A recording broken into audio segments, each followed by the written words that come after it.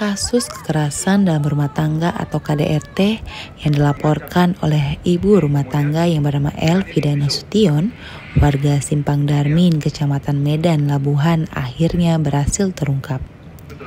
Pelaku ialah tidak lain RH, suami korban sendiri.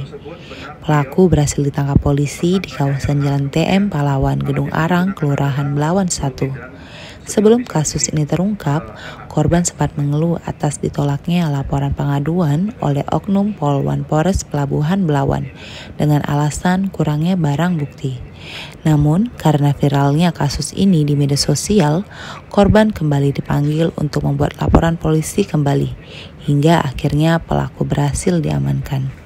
Diketahui motif mula penganiayaan terhadap Ibu Elvida bermula dari adanya adu mulut antara korban dan pelaku karena pelaku tidak terima ditegur oleh korban karena kerap meminta uang sebesar 50 ribu kepada ibu mertua korban sehingga pelaku nekat memukul korban dengan sebatang kayu.